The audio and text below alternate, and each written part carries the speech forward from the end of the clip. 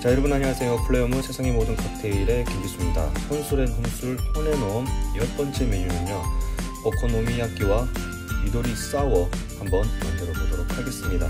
자 김치전만큼이나 집에서 간단하게 쉽게 만들어 드실 수 있는 일본식 전이라고 생각하시면 되는데 먼저 재료 한번 살펴보도록 하겠습니다. 자 먼저 부침가루 또는 뭐 밀가루 튀김가루 아무 가루나 있으면 되고요. 그 다음에 양배추가 사용이 됩니다.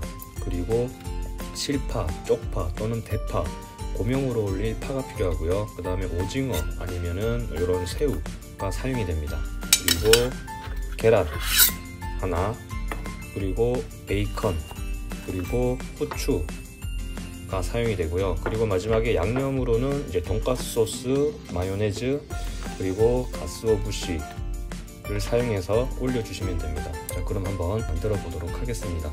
첫 번째 양배추 채를 썰어 주시면 됩니다. 자 다음에 베이컨 같은 경우는 90g 기준으로 했을 때 한 45g 반 정도 넣어 주시면 되고요. 적당한 크기로 잘라 주시면 됩니다.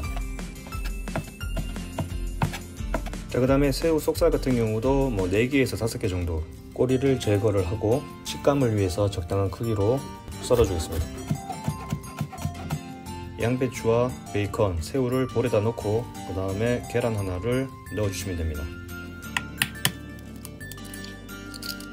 그 다음에 후추를 약간 넣어주시고요. 그 다음에 부침가루를 밥 스푼으로 3스푼 넣어주시면 됩니다. 3밥 스푼 한 밥, 두 밥, 세 밥. 그리고 물을 200ml 넣은 후에 잘 저어주시면 됩니다. 다른 반죽과 다르게 많이 묽게 만들어야 됩니다. 그리고 잘 섞어준 후에 다시 밥 스푼으로 두 밥 스푼 하나, 둘. 넣은 후에 다시 저어주시면 됩니다. 후라이팬에 불을 올리고 기름을 두른 후에 가열이 되면은 김치전 부치듯이 오코노미야끼를 부쳐주시면 됩니다. 앞뒤 노릇노릇하게 익혀주시면 됩니다.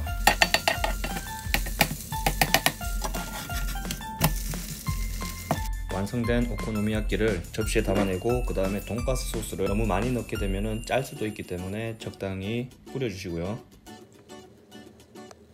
마요네즈를 일회용 봉지에 담은 후에 앞에 약간 구멍을 내고 잘 예쁘게 뿌려주시면 됩니다. 그리고 가스오부시를 그 위에다가 뿌려주시고요.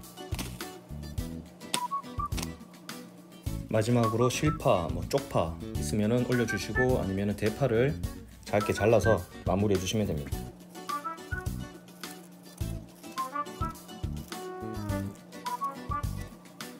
자 다음은 미도리 사워 한번 만들어 보도록 하겠습니다.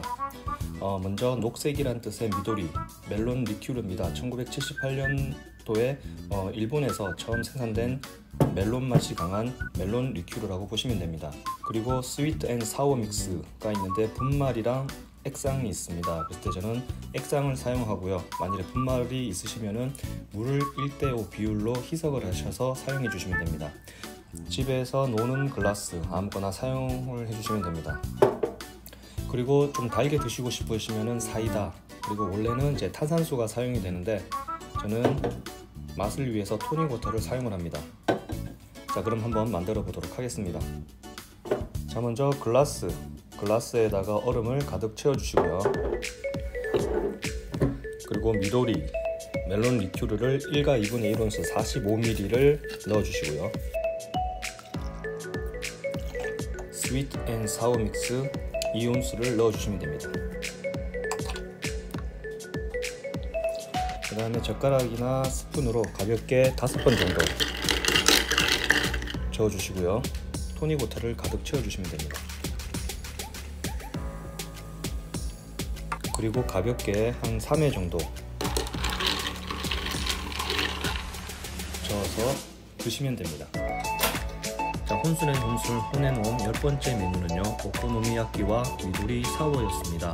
어, 오코노미야끼 같은 경우도 이제 안주로서 상당히 유명하고 맛있는 어, 메뉴고요. 어, 미도리 사워 역시 어, 칵테일 바에서 어, 가장 잘 나가는 칵테일 중에 하나라고 보시면 됩니다. 요즘은 어, 리큐르 shop, liquor shop들이 많이 생겨나가지고 술들을 어, 쉽게 구입할 수가 있습니다. 그래서 여러분들도 한번 어, 구입하셔가지고 이 집에서 한번 만들어서 드셔보시면 술 과 좀 더 친해질 수가 있는 계기가 될 수도 있습니다. 자, 혼술앤 홈술 혼앤홈 열 번째 메뉴 오코노미야끼와 유도리 사워였습니다. 수고하셨습니다.